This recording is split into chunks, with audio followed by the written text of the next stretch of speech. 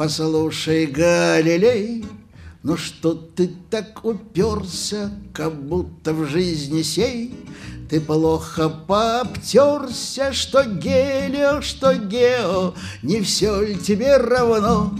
Кормила бы догорела и денег не брало.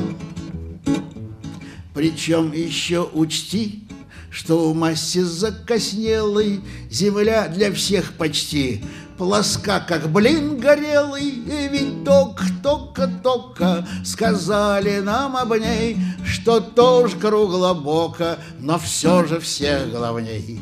Ведь наш верховный поп стрижет свои проценты, что мы как будто пуп находимся по центру, а Солнце, как Венера, такой же сателлит. Ну, чем плохая вера? Ну, что тебе свербит? Но что смешней всего, хотя он отрицает, но что вокруг чего, шеф, безусловно, знает, но точно так же знает, что будет на мели, чуть только он признает вращение Земли. Ведь вот все дело в чем. Вращается и пес с ней, но лишь бы не при нем, а, скажем, сразу после. Отбросим сантименты, поймите, сильвупле, Что ежели мы не в центре, то он не во главе.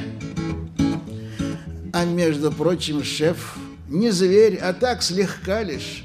Он не желает жертв, но ты ж его толкаешь, ведь все твои догадки из устная печать разносит без оглядки. Ну, чтоб тебе смолчать?